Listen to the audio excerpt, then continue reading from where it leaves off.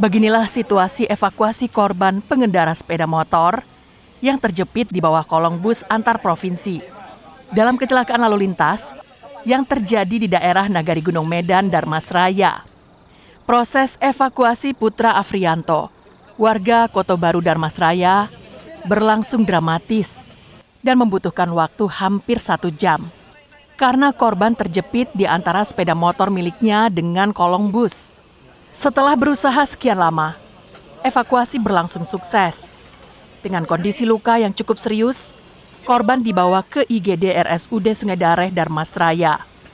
Saat dievakuasi ke rumah sakit, Putra Afrianto masih dalam kondisi selamat.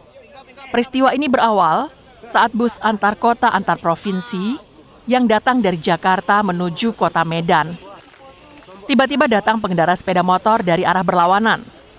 Diduga korban mengantuk dan oleng sehingga terlalu ke kanan.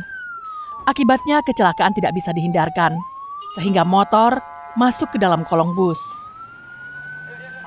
Benar telah terjadi kecelakaan lalu lintas yang melibatkan kendaraan bus antar kota antar provinsi akap dengan sebuah kendaraan sepeda motor yang mana kejadian tersebut sepeda motornya sempat terseret di dalam kolong sehingga anggota kami pada kesempatan pertama langsung terjun ke TKP untuk mengevakuasi sepeda motor yang berada di bawah kolong.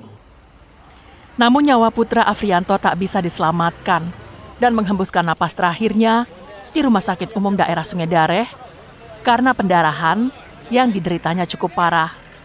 Saat ini, barang bukti kendaraan berupa bus dan sepeda motor telah diamankan di unit Laka Lantas Polres Darmasraya.